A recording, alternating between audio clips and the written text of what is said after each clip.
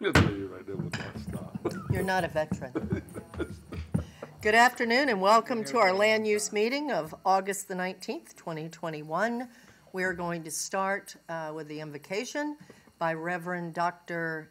Capers of Rogers Community United Methodist Church, followed by uh, Commissioner Bellamy with the Pledge of Allegiance. If you'd stand, please. That was a mouthful.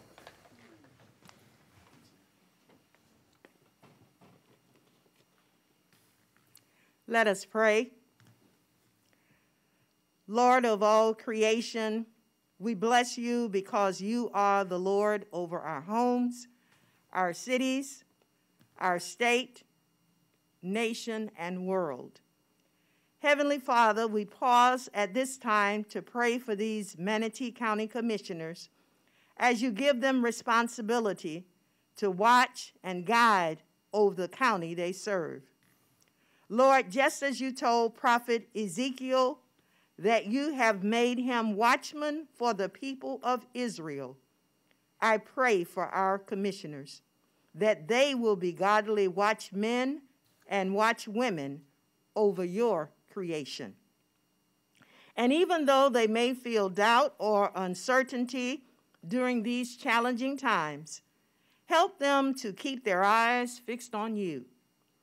Lord, grant them wisdom and keep them, help them to remember that, that, that it is you who gives wisdom, because from your mouth comes knowledge and understanding. This is our prayer. In your blessed name we pray. Amen. Amen. Reverend, thank you. That was wonderful. I pledge allegiance to the flag of the United States of America and to the republic for which it stands, one nation, under God, indivisible, with liberty and justice for all.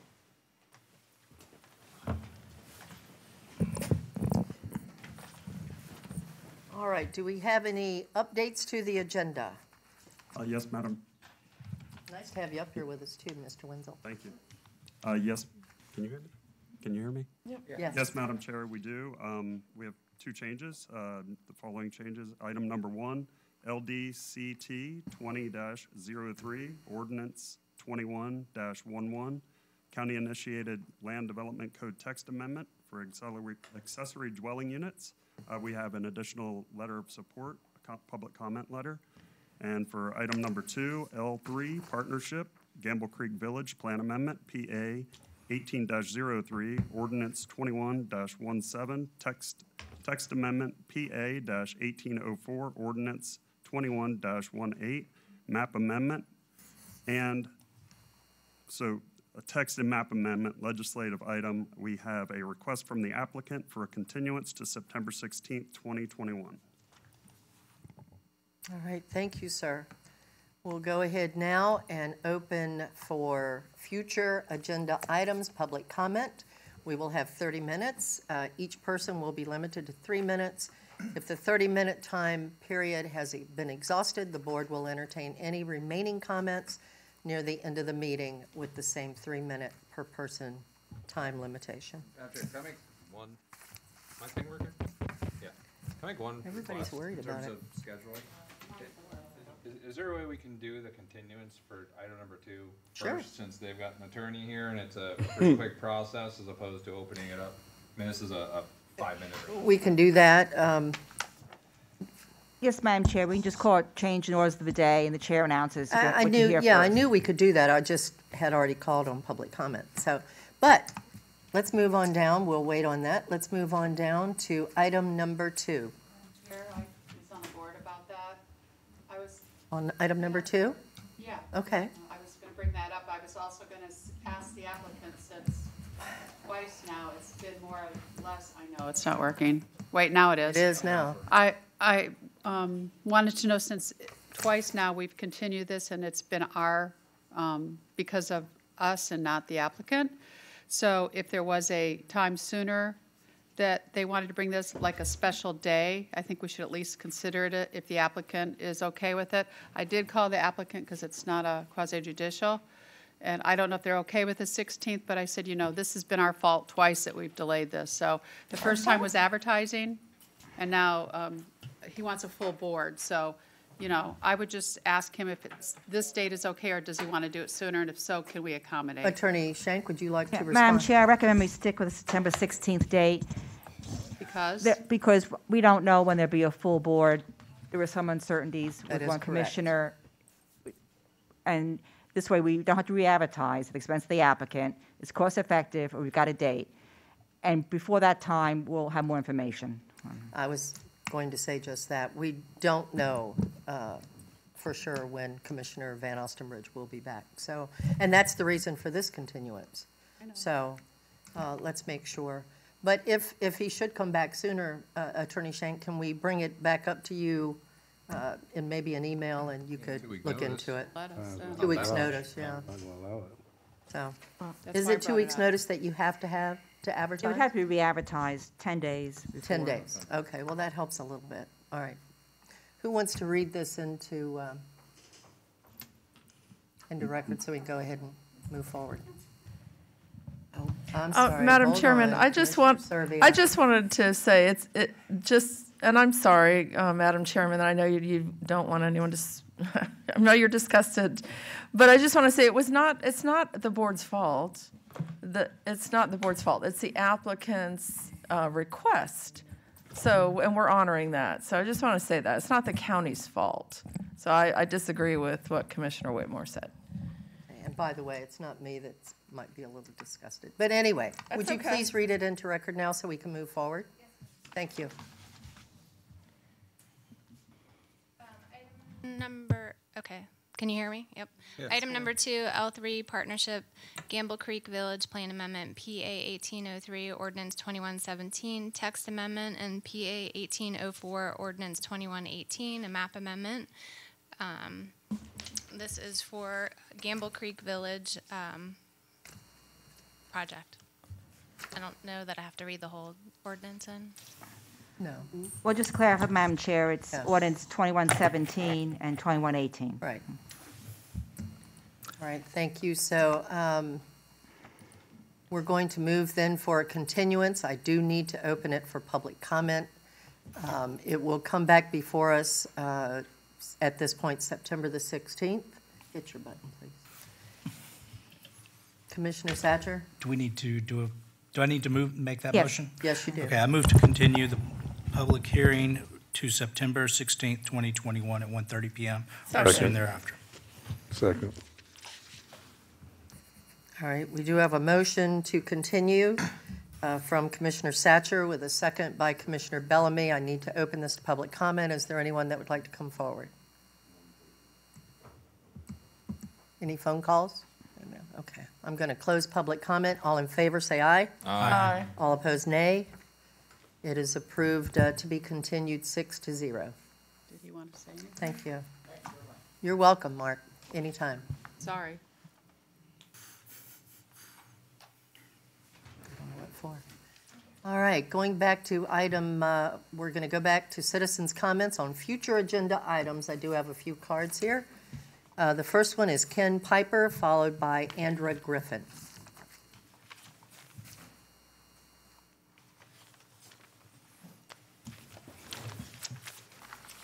Good morning, I'm Ken Piper, Manatee County citizen.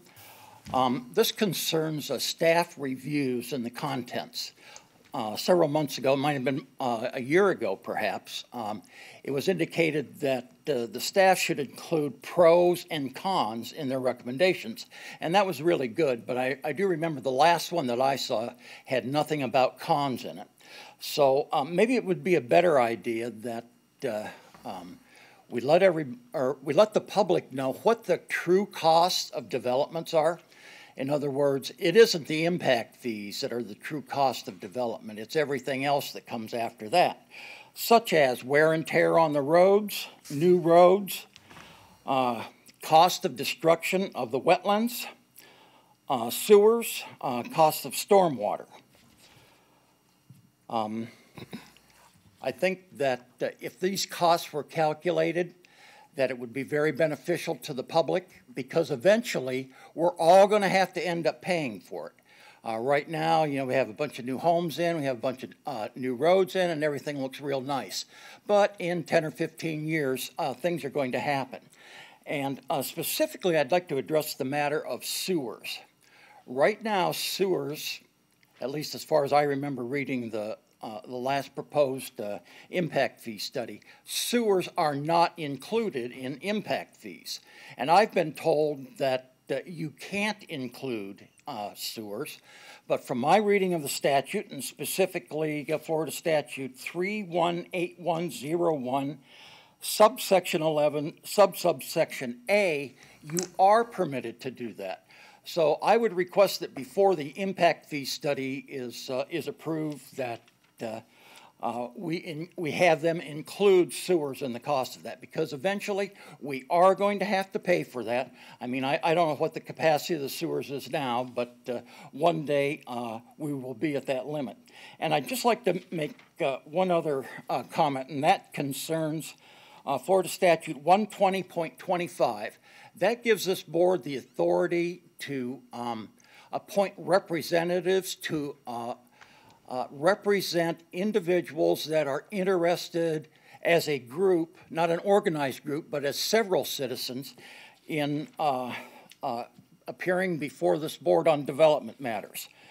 Uh, it's my opinion, and go ahead and check with legal counsel, but I think you can appoint an attorney to represent the citizens.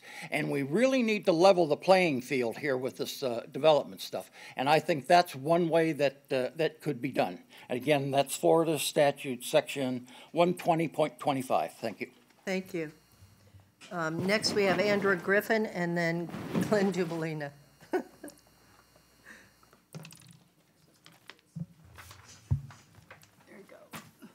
I'll be using it over.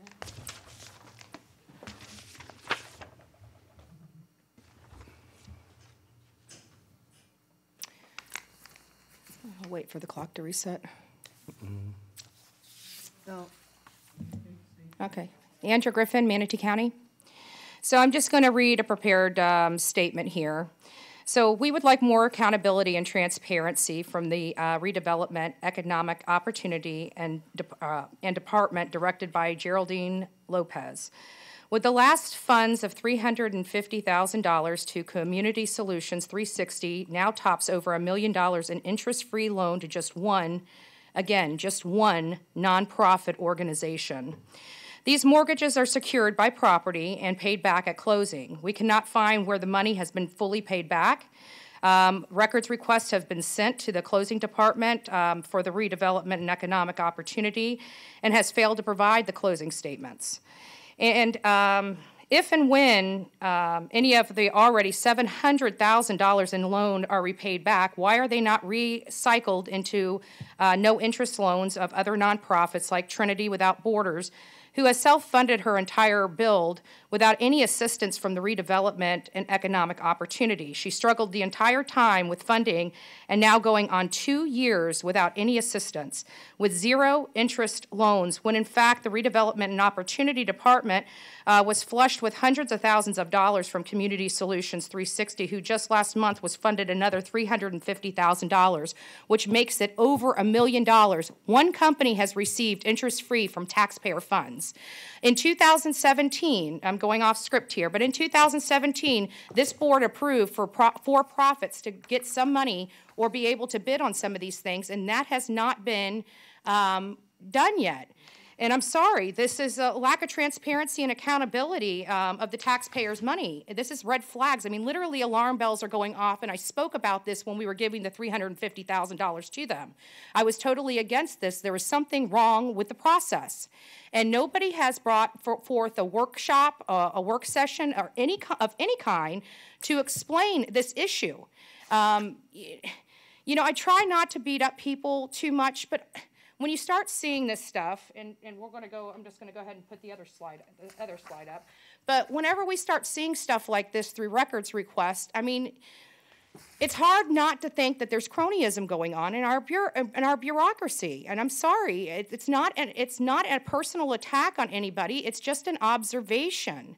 And it's so much, so much so that um, I expect somebody from this board to start looking into this stuff and getting back to the people of this county to explain why one company, one nonprofit alone, is entitled to over a million dollars of taxpayer money interest free, and why that money, when it's paid back, is not recycled.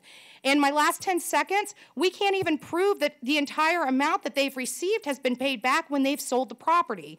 So it's very concerning to me, and I hope this board takes this seriously. Thank you. Thank you. I'm actually the one that made that motion, so I remember it well. Mr. Gibellina, you are next.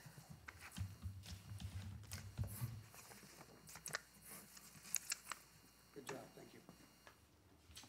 For the record, Glenn Gibellina, and, uh, you know, I, I kind of mirror what Andrea said on that, so, um, we went to see this movie uh, in Tampa the other day. I, I would suggest you all look at it, take a look at it.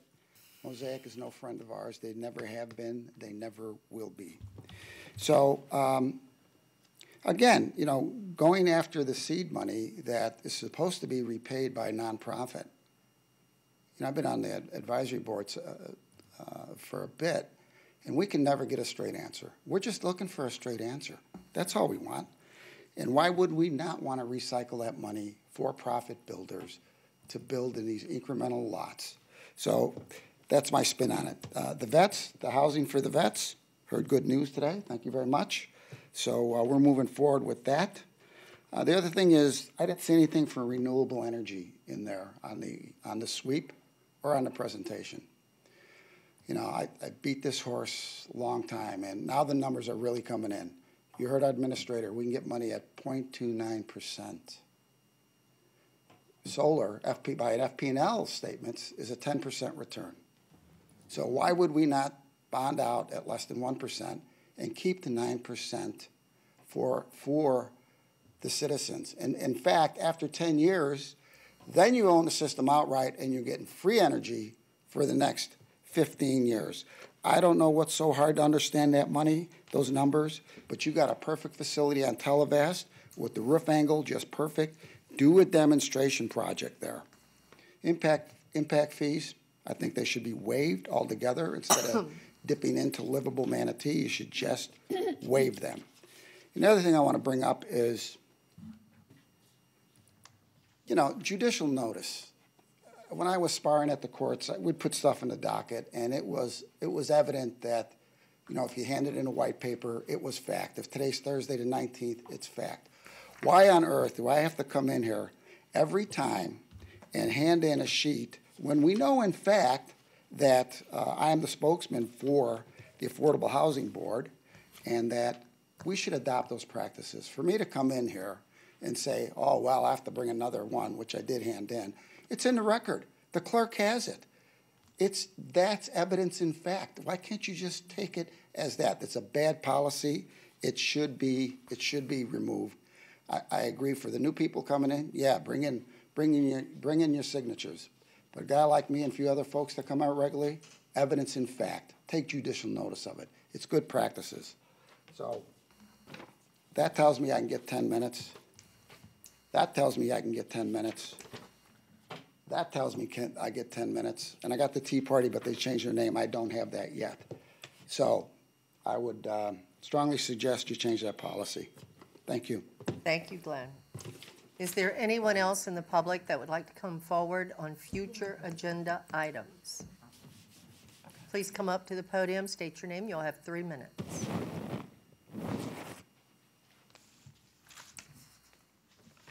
Hello, my name is Kevin Heisey. I live in uh, Bradenton, Northwest Bradenton, Palma Sola Park area.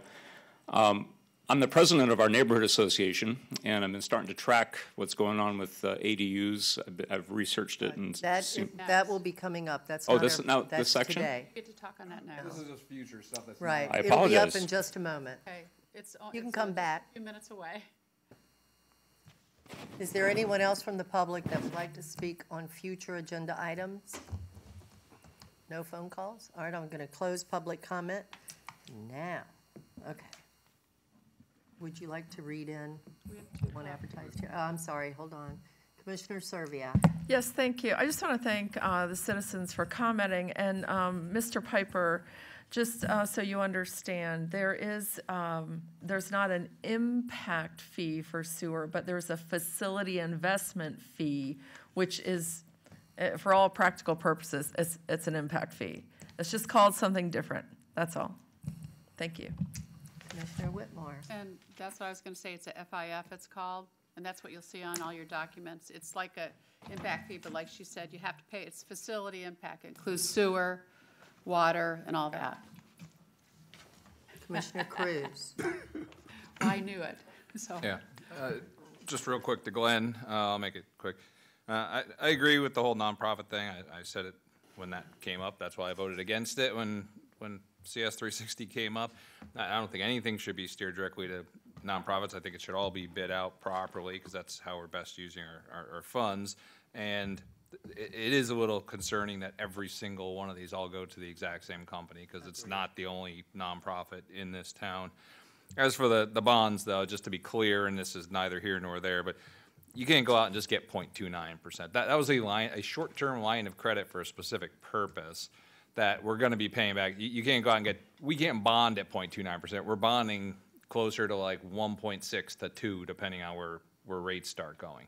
So it's a little higher than a 0.29. It's, it's a little different, but that was just clarification. Any other commissioners have anything to add before we move forward? Commissioner Satcher. Thank you, Madam Chair. I did on the issue of impact fees.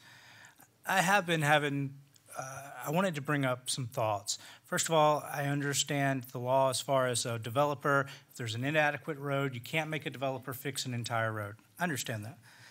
Um, what I wouldn't want to see, what I wouldn't want our, you know, us to be a part of, is let's imagine a scenario where you have two inadequate roads that come together, and then you turn down one of them, and you drive however many miles on an inadequate road, and then you get to a development. And for the developer to be able, if he were, I don't know if this is the way we run it, let's hope we don't, to where they can trade their impact fees for making their entrance, you know, six lanes across and a beautiful this and a absolutely perfect Exactly what we do.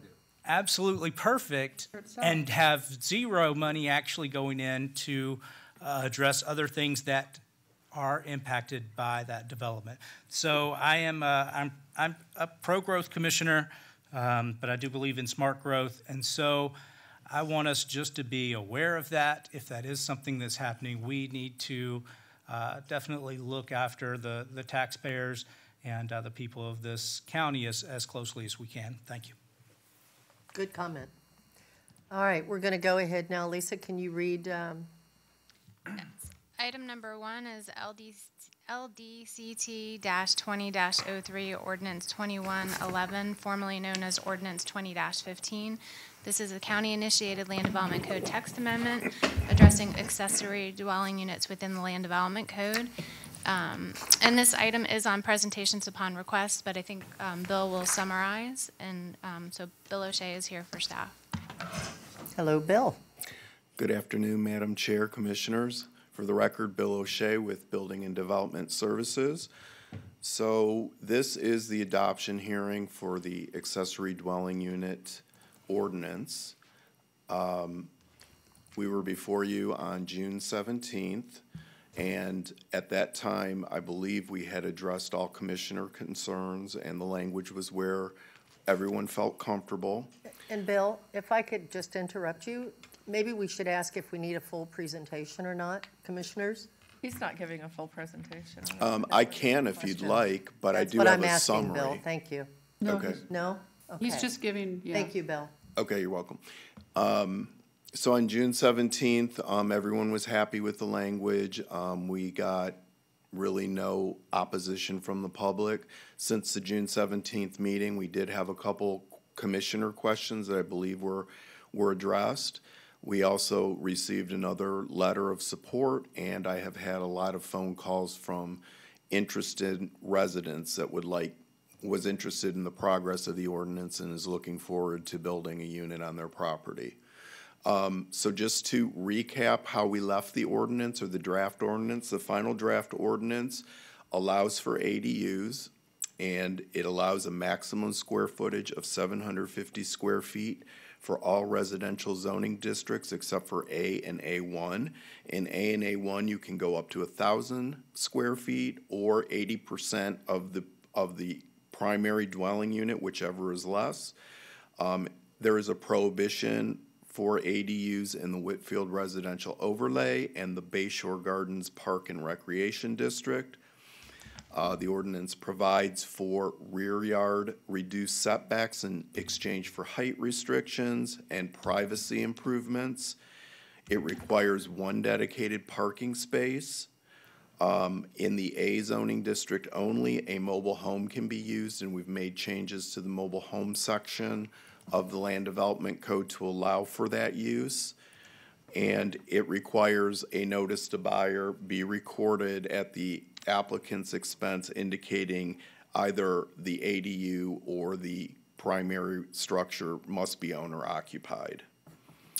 Um, That is basically all I was going to provide you with, so I can answer any questions that you might have. um, Or we can hear from the public. Okay, thanks, Bill. And and Commissioners, the reason I ask if anyone wanted a full presentation, because, you know, every commissioner does have the right to have that if they want it. So it was a question that needed to be asked. Commissioner Whitmore, you are on the board. Um, yes, this has been something I've been working on for also ten years.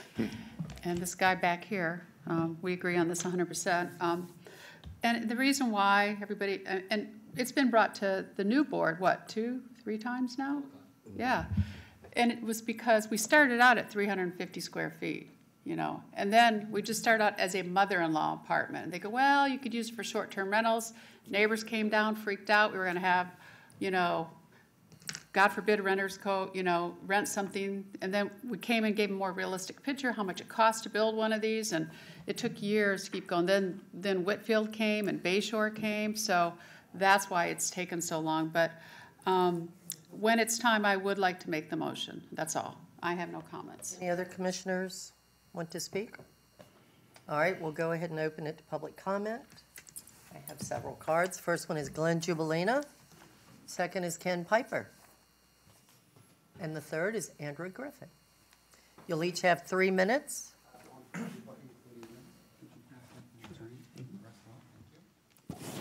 State your name, you'll have three minutes. Thank you. Please.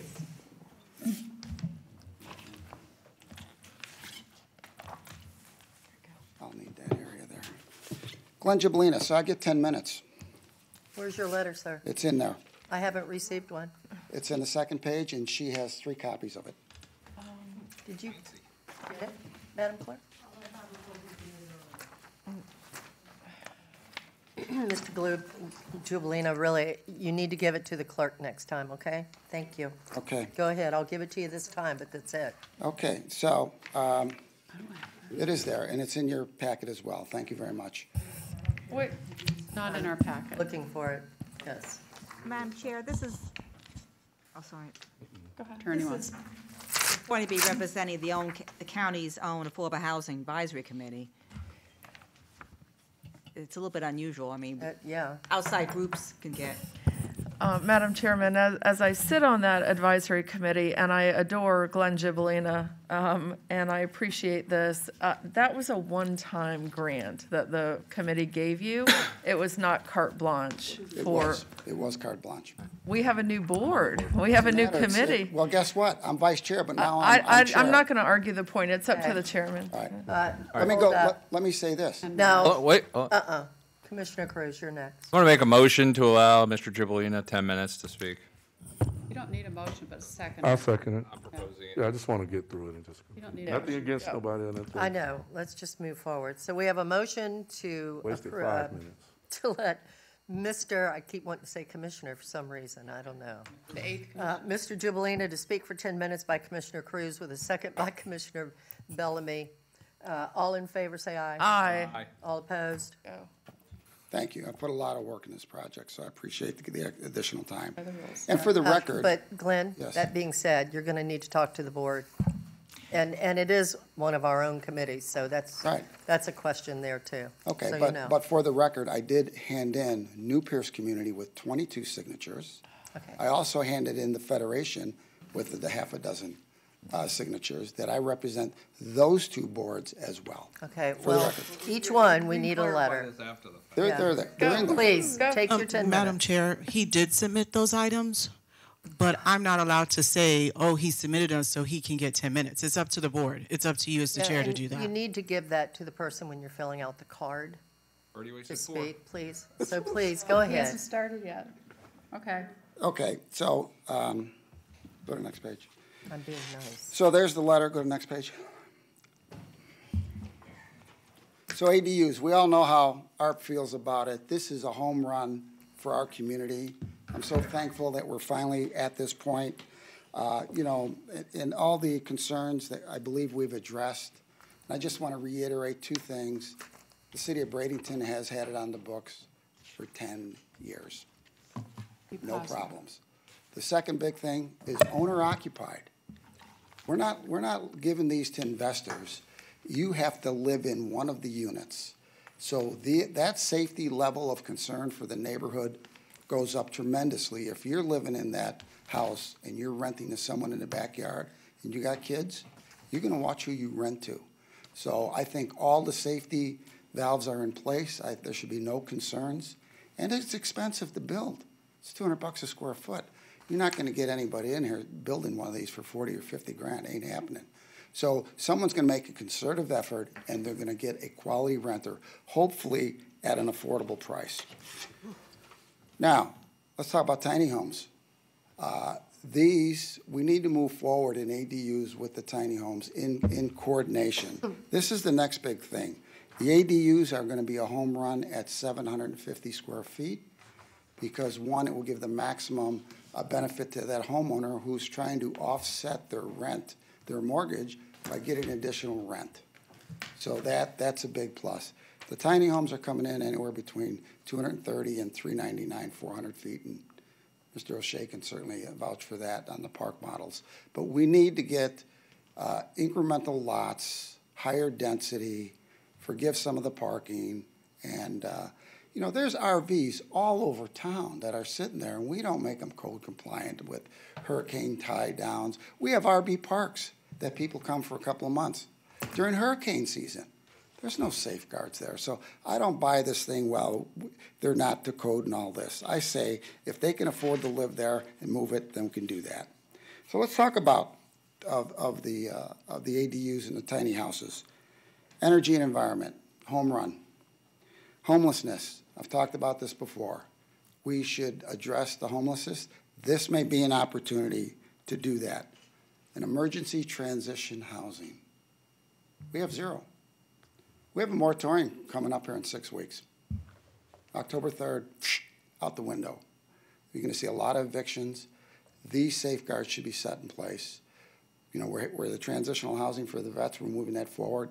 That's a godsend, but there are a lot of other folks out there, single moms. 830, let me repeat, 830 students are homeless in Manatee County.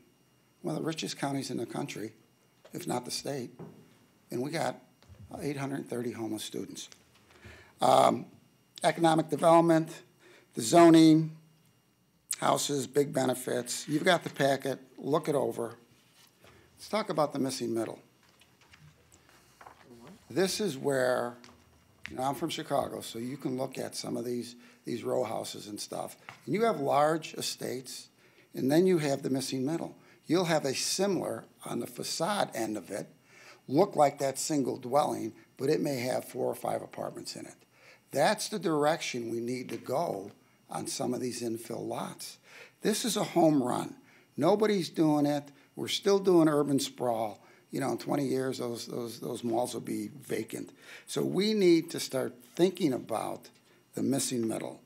And everybody, everybody benefits, again, more affordable housing to smaller incremental lots. Here's a couple of examples. You've got uh, multiple units next to a large Victorian house. You, you, you go down that street, you can't tell the difference, but you're providing more affordable housing units. And at the end of the day, that's, that's where we want to be. Uh, the duplex, same way. You know, from the street, you got two doors next door, similar roof lines, similar height. You cannot tell the difference. You know, in, in Oregon, it, they, they just passed it. Anybody can put a duplex on any residential lot to ease some of the housing. But we can do it professionally, aesthetically, enhancing the neighborhood as well. And the mixed use, the one on the bottom, that's a home run. I would love to see that, even, even in, in areas that are off, off the main drag. You go to these larger communities, you go in a block or two, you'll find a bar or a little candy store, you know, and people living upstairs. That's how they make their living. We need to start, and that, and that's gonna be part of the zoning and mindset that this board should, should, should take a look at. Form-based code, home run. City of Bradenton has it. George and I talked about it. Maybe it's too big for the county. But again, changing a neighborhood to match the neighborhood. You don't go in there and say, okay, we're going to put in, you know, a five-story apartment building next to two residential houses. It's the perception that form-based code allows you to do. If you look at Bill Isley and his little pocket community, that's a home run.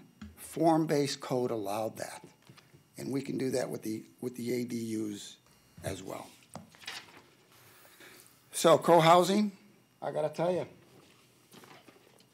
I lived in co-housing. It's wonderful, absolutely wonderful. We need to be moving in this direction and changing some of the codes. Pocket neighborhoods, big fan. I'm a big fan. I'll tell you why. Most of you folks up there can probably count on one hand your best friends. How nice would that be to have your best friends live in one square block with you? That's what pocket communities do. That's for sure. That's what co-housing does. So we need to start start looking in that direction. More community with spaces we already have. In conclusion, it will take a collaborative effort by our county staff, community, and others to move forward to these alternatives way of living. I believe our community is ready for it, and we embrace it with open arms. Several demonstration projects should be considered and applied. In the coming months, our board will bring forth recommendations within this presentation and other ideas as well. The doors will be open for those bold enough to knock, and I'm knocking. And uh, I thank you for your time.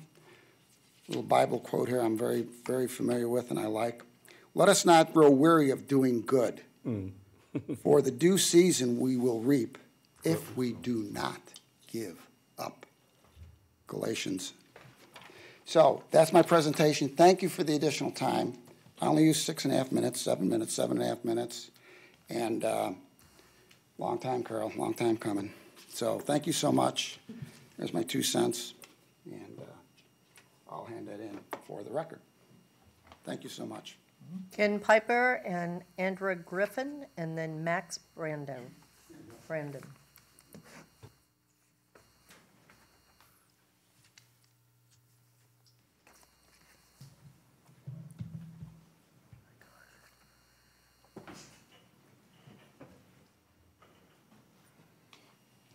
Hi, Ken Piper again, Manatee County. Um, I'm sorry that uh, I wasn't in on this from the beginning, but two days ago I started reading the 600 pages that are in your packet, and I only got through 250 of them. Uh, but the one thing that jumped out to me are exceptions. We have an exception for Whitfield, we have an exception for Bayshore Gardens, uh, we have a disparate treatment between uh, agriculture and, and other residential areas.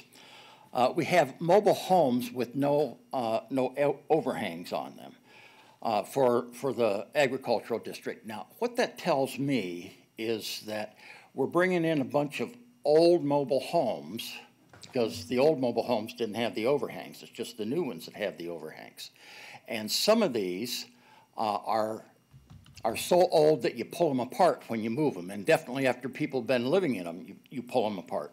So for the life of me, I can't figure out why mobile homes, and this reminds me of the area that I came from in Ohio. If you go to the southern part of my county, these things are all over the place, and they're exactly what I told you. They're so old that they cannot be moved. Um, I don't know if, if you uh, waive the impact fees or not, but if that's the intention, the only thing that you're doing is placing the burden on the rest of us. Uh, Somebody's going to have to pay those impact fees one way or another, and so it will probably be the taxpayer again. Um, And the, the problem that I have with the exceptions is, as soon as you start making exceptions, somebody's going to say, well, uh, I want to move, move a mobile home in, in my backyard, and I don't live in an, an agricultural area. Why are, why do you let them do it, and why don't you let me do it? So then you're immediately uh, opening yourself to an attack that there was no reasonable basis for any of these exceptions. So I think it would be a good idea to explain to, uh, to the rest of us who's uh, uh, home values may be affected as to just exactly why you're making all these uh, exceptions. Uh, last night I tried to find some figures on, on the homeless problem in this country. Um, the, uh, the Census Bureau seemingly can't get uh, their act together, but there's somewhere between 500,000 and 600,000 uh, homeless in the country. And vacant housing, there's somewhere between 13 million and 17 million vacant homes. Uh, a lot of those are HUD homes. For instance, from anything I could figure out, Manatee County alone has 250 HUD homes in foreclosure, and it's a total of 374 homes altogether. So there are federal programs to take care of this. Uh, uh, Glenn mentioned uh, kids that, uh, that don't have uh, uh, a place. There is a specific federal Thank program sir. for the kids. Thanks. Thank you. Andrew Griffin, and then Max.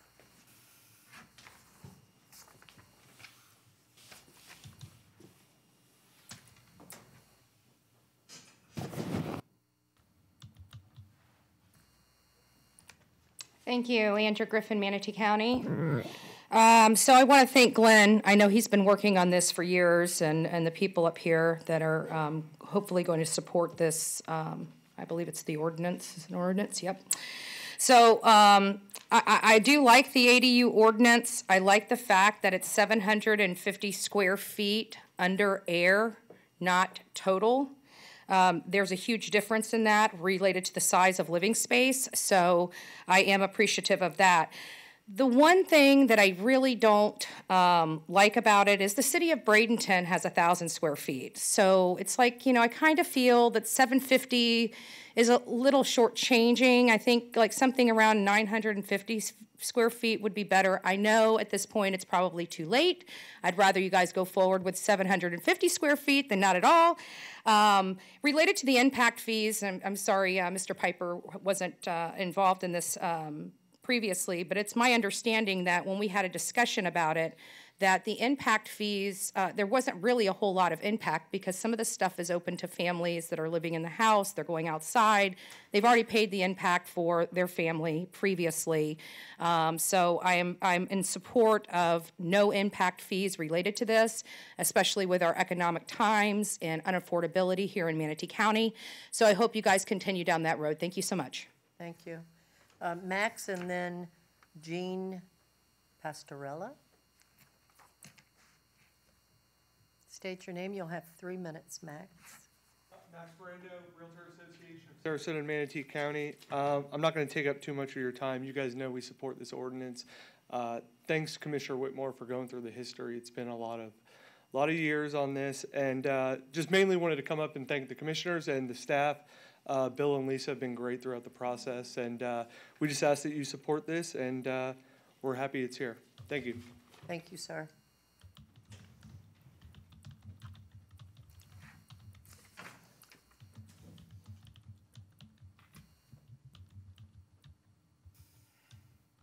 She'll need the mic down a little. Hi, I'm Jeannie Pastorello, and, there you go. I'm Jeannie Pastorello, and I'm not representing anybody except myself. And that's okay. Uh, I live out in Duette, and for anybody that doesn't know what, where that is, that's the furthest northeast section of Manatee County where there is really nothing and nobody. uh, the cattle and horses. I have just under six acres, and I live in a mobile home, and it's a really nice mobile home. But come hurricane season, I have to leave. I wanted to be able to build a house on that property that could sustain uh, the, the winds of a hurricane and, you know, maybe a hurricane four category or something like that, so that I could just stay and not have to run off somewhere. Um, right now, I think it's like uh, one house per five acres. So I sure would like to be able to build on my own property. So, and then the other thing is too, I have kids, and uh, so when they get to a point where they would maybe like to live there too, there's lots of space. So, you know, why not be able to have my family there? So that's all I have to say, and I feel like I'm very selfish just talking about my own thing here when everybody else is there. That's what you're supposed to do. But that's it. Well, thank you for your time. Thank you. Is there anyone else from the public that would like to come forward? Now's your chance.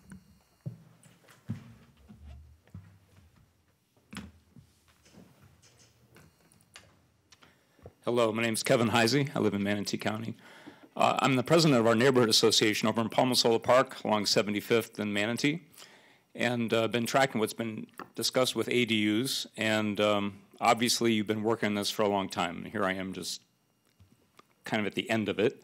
But I need to express how I feel about it. And one, the primary goal is I'm hearing to try to help alleviate a housing problem. That's in all the literature I've read with, I'm looking at a presentation from Josh Dan and Kristen French. The number one reason we're trying to help alleviate a housing problem.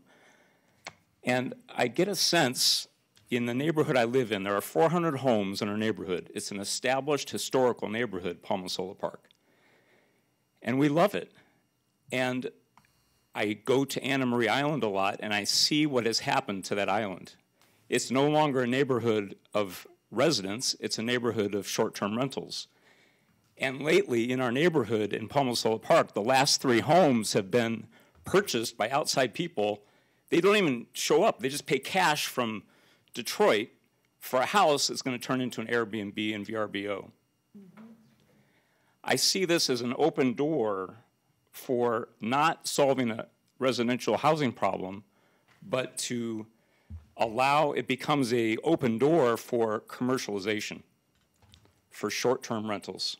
That's what's going to happen to Palma Sola Park neighborhood. I, I know Manatee County is bigger than that, but I'm talking about our neighborhood. It's historical, and it's already starting to become like Anna Maria Island. And I personally don't want that because of this ADU open door policy making it easier to have these. It allows a realtor to have their number one tagline to their client say, look, you can have this home and Manatee County will allow you to build a unit in the back and pay you can pay for your mortgage by renting this out.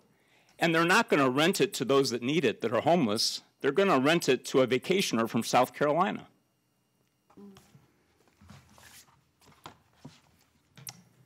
That's my concern. I'm a resident. I don't want to see our neighborhood change. I know you've been down this path for a long time. There are good reasons for ADUs. I'm, I'm, i want to help those that are in need of housing, but at least in our neighborhood, I don't want to be in that category. And so my next question is how can I have our neighborhood opt out like these other two that have gotten a license to say not in our neighborhood? So that'll be my next question. I don't know who can answer that or who I can follow up with. We're Thank going to you, be sir. talking after. Okay. Thank you. Thank you.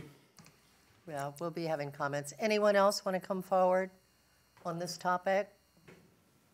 Do we have any phone calls? I don't see anything. Okay. All right, I've got some commissioners on the board. I've- I'll close public comment. Commissioner Kruse? All right, I have a couple things for a couple of people as that kept going.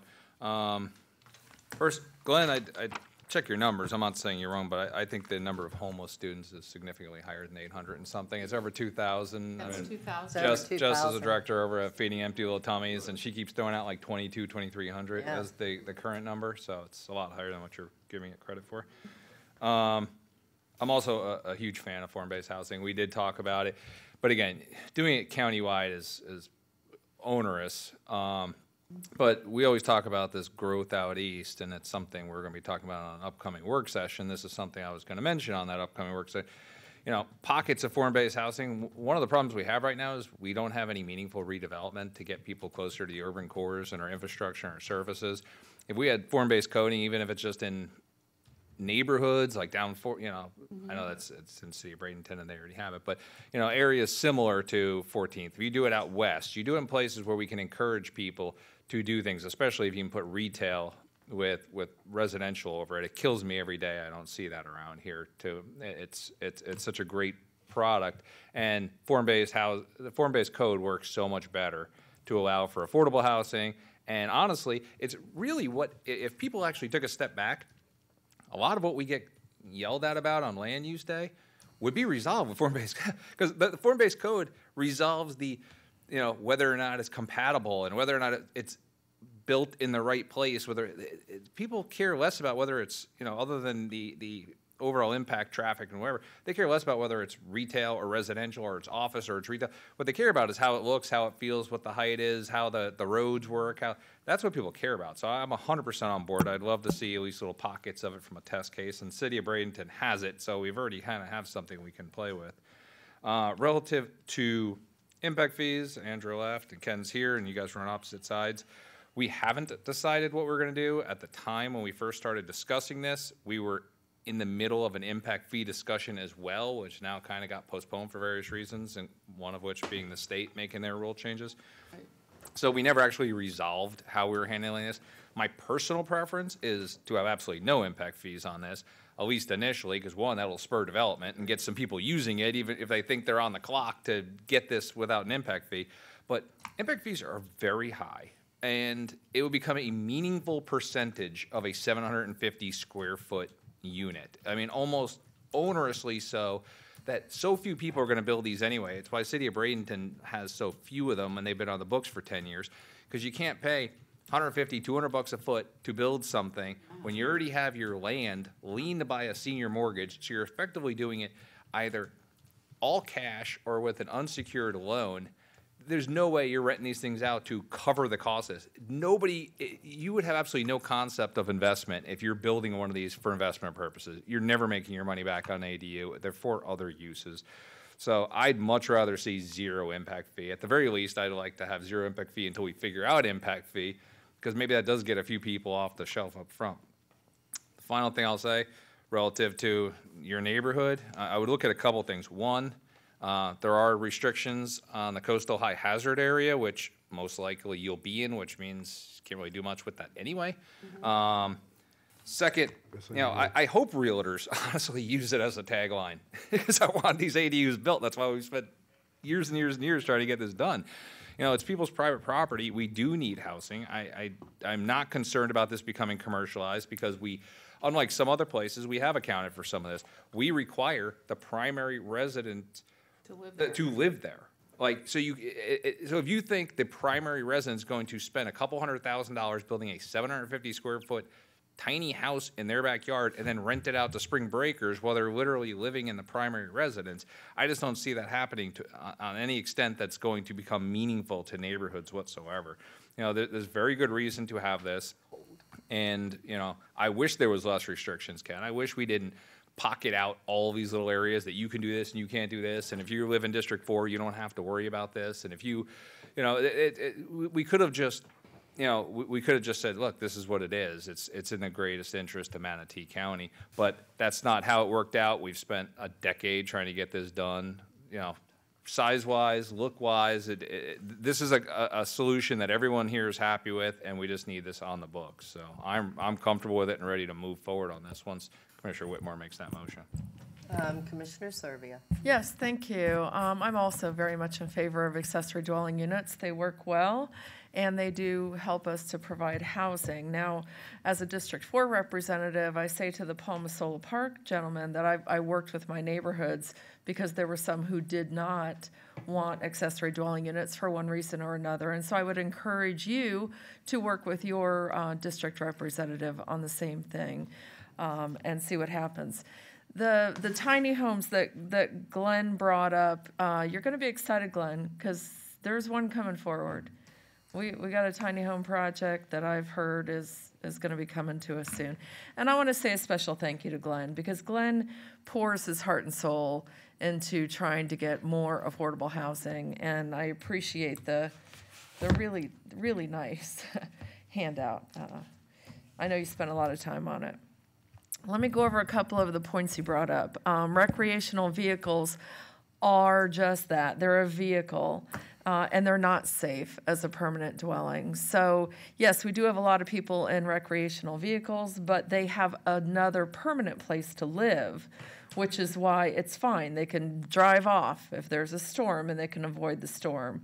Uh, but that's why we can't have them as permanent housing in the area. It's, it's camping. Um, uh, cities have been doing this for 10 years, City of Bradenton. I heard you say that. And that's because cities are smaller, they're more urbanized, they're more compact, and it's just easier to get to approve ADUs in a city. And that's why you, that's where you normally see a lot of ADUs and you have for many, many years. It's harder to do it with a county that's so big and diverse. Um, impact fees.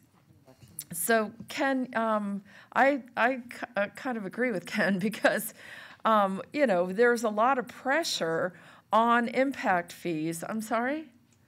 I'm I'm sorry. Did you need to say something down there? I keep hearing no. We're listening to you. Okay, thank you.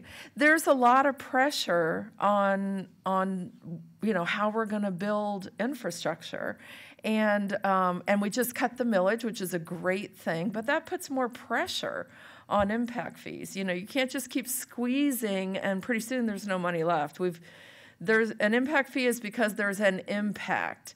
Um, we have, you know, children living in homes. We have people driving cars and using water and sewer and parks and libraries and all those things.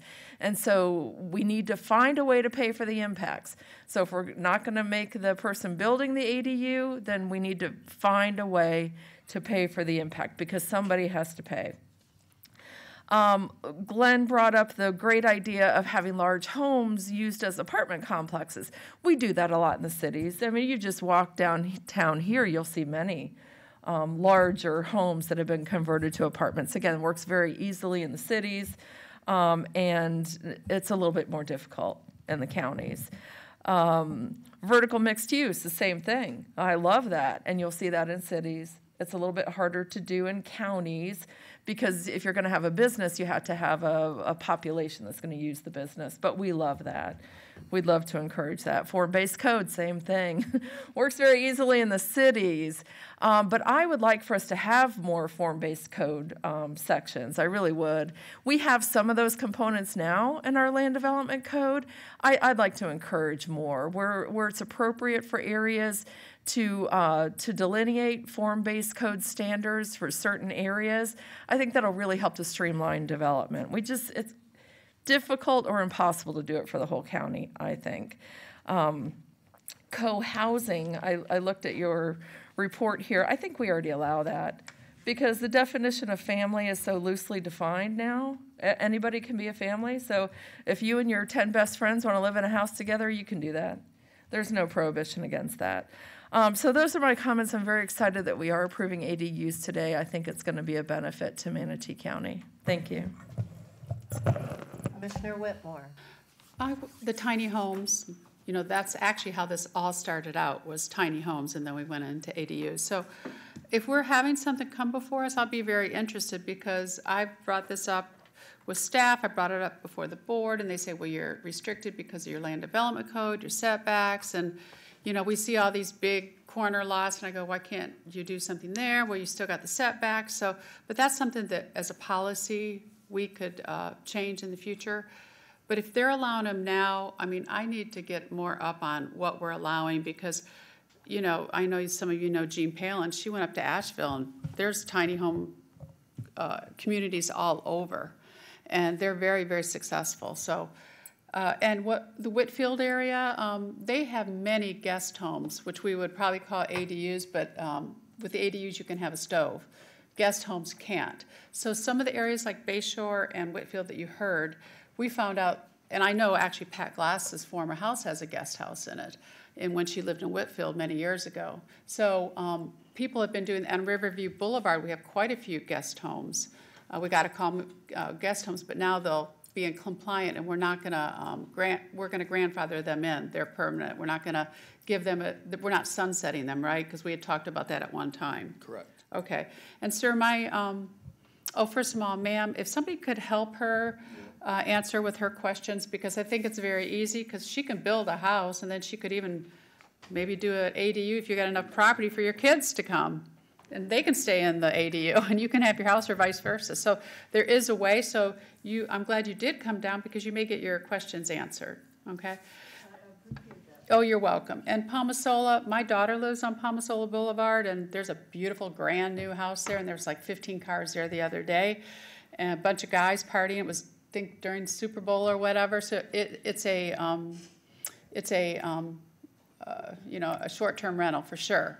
Um, but, but again, um, the whole intent of this whole ordinance was for your families. My my kid lives there. I'm hoping that maybe she'll take me and my husband in someday when, when we're needed. And that's how all this started. Um, but the cost of building it, like you heard Commissioner Kruse, is exorbitant. You are not going to get low income housing in there. They've got to be able to pay to build that.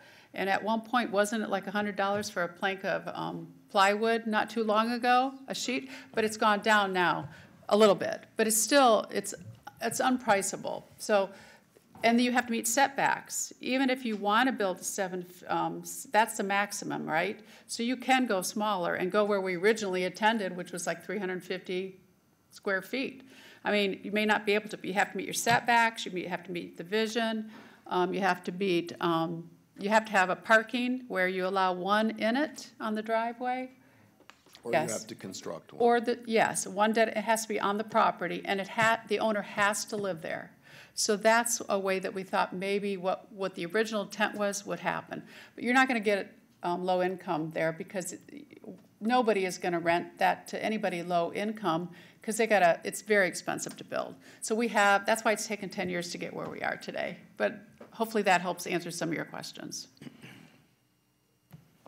Commissioner Satcher. Uh, Bill, I was just going to ask, um, because she represents other people watching, for the, the lady from Duette, uh, what options, assuming this passes, which it is set to pass, um, what options would she have for her property, assuming things are normal, there's not some weird, uh, you know, uh, situation? If she's on six acres, she's an ag. If she wants an ADU versus a guest house, advantages, just if, if you could do a quick summary, I'd appreciate it. Sure, and after, um, after Commissioner comments, um, if it's, if the board would like, I'd like to address more of the comments that we heard as well. Um, on the, on the A-zone property, she can have an ADU, or if the existing mobile home meets the standards that are established for ADU, she could do a stick-built house and use either, and use the mobile home as an ADU. Right. But there's nothing that says that just because you have a mobile home, you have to put a mobile home as an ADU. You can do a stick-built ADU on that property. And then what about, would, are there more options if she does a guest house or? do- The only more options is, the difference between the two is you can't have a full kitchen in a guest house. You can build a larger structure um, than you can an ADU. Um, And um, guest houses are not intended for full-time occupancy. Thank you, Bill. Commissioner Kruse. I just think, and maybe it's when Bill comes back up to respond to some of this, I just want to throw out there. I- We do need to figure out what we're doing with the impact fees. I mean, hypothetically speaking, if we sign this thing today, tomorrow, someone could be walking in to build an ADU. Do we know what we're doing with impact fees at that point in time? Are We're gonna charge that person thirteen thousand dollars worth of impact fees? You know, I'm just saying, we don't, we haven't decided even what we're doing relative to those impact fees right now. So I would, I would have to assume that the default would be we are charging, and I do not want to. And anyone who sits up here and says, we need to charge impact fees because people are impacting things, when someone's got to cover it.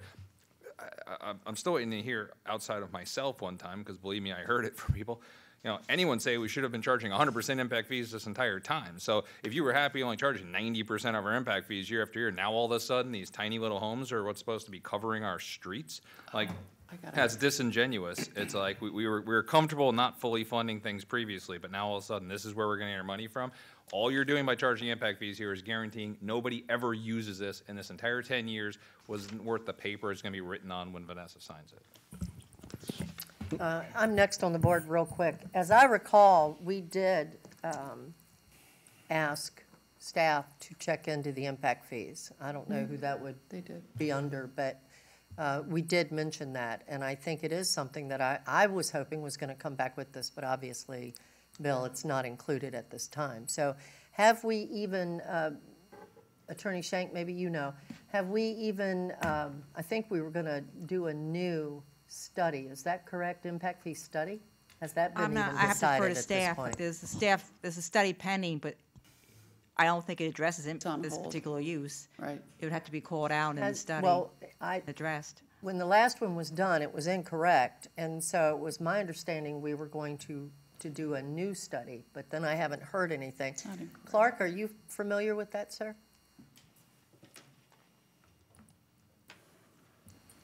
Doing your thing? All right.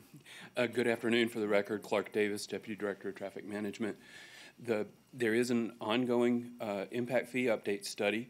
Um, It's been paused to update some things. I don't think accessory, well, no, I take it back. We are looking at the scope to include accessory dwelling units as a separate use in there as part of that update. Uh, But for now, and absent other direction, I think the consensus view is that an accessory dwelling unit would be treated like an apartment of the same size. And so that would, that's, that. Well, there you that's go. what we've I have got an idea. Right now. Um, Madam Attorney, is there any way we could do a motion to not have any impact fees on AD, on ADUs? No, we Can don't have the go that ability, route? we don't have the ability to do that today. I got an idea. All right, well, I think you I know. are next, Commissioner on the Yeah, board. being around a while, to- a a while helps a little bit. I have an idea.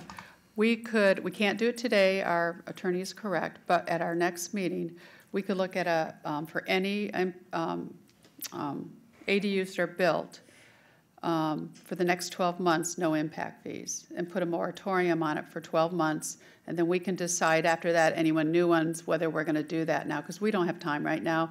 But I do not want to lay this, delay this any longer. I, the attorney's correct, we can't do, probably, we have to have a hearing for a moratorium, and you have to have a reason why we're doing it, and I know that, and you have to have an end date. So I was thinking for 12 months, and then we can um, look at what we're going to do sooner, I mean, and um, what, we can always have the hearing any time, but at least if we put a moratorium for 12 months, so if anybody builds something within 12 months, they won't get charged impact fees. And then what we could do is, um, if we decide to levy impact fees later, we can. Okay, I'm, I'm going to, are, are you finished, Commissioner Whitmore? Mm-hmm. Okay. I'm going to respond to that. That is exactly why I asked the county attorney to tell us what we could do or not do in that regard. I think I want to to make sure report, it's legal. report back to you, because I'm unaware of any way to do it other than do the impact fee study and have the use listed in there, like Clark stated. Statute requires you to have a study and the data analysis, and that has to be prepared. Whether you do a separate study special just for ADUs and fast track it, that's possible. Yeah, and there's no way that we could just say we didn't want impact fees on ADUs.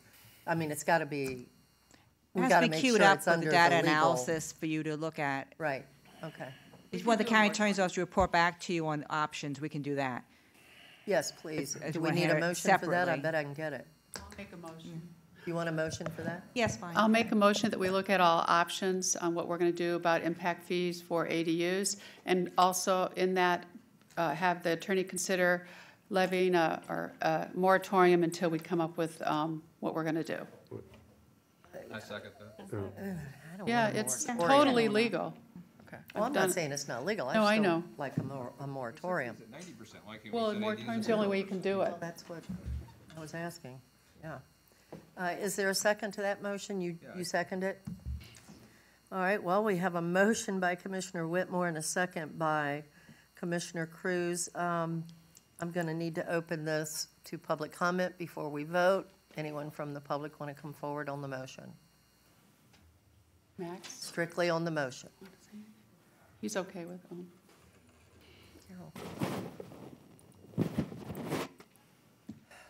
Glenn Gibellina, for the record, um, I agree there shouldn't be any impact fees. I mean, I don't see the difference between, because right now, as it stays, I can put, I can put a seven hundred and fifty square foot accessory dwelling unit attached to my house. I can also put a seven hundred and fifty foot two-bedroom room addition to my house with no impact fees. It's not true. no, you have to have. Pay impact fees. Yeah, you do. You- You would pay impact fees. I will also point out, can I get clarification? The Guest houses don't have impact fees, correct? Oh. So that means all we're gonna do is encourage people to build guest houses and then put the range in like everyone else does with a guest house in this town. So we're not, eh, no one's gonna use the ADU, because why spend the extra ten grand? They're just gonna build, it- continue building guest houses, which they can do anyway. If Exactly. they don't match up, then it's, a- then it's still pointless. Right. Okay, Madam Clerk, can you, um, oh, I'm sorry, Max, go ahead. Now, I just want to reiterate, uh, if we could explore ways to not charge impact fees on these, I think Commissioner Kruse was right. These are going to be cost prohibitive, and if we want to get towards putting people in more affordable housing, I think we need to look at ways to make it as cheap as And possible. can you state build. your name for the record? Oh, sorry. Max Brando, Realtor Association. Thank you. Anyone else from the public? All right, I'm going to close public comment. Madam Clerk, would you, f- for me especially, repeat that motion, please? Oh, she needs a mic. Oh, sorry.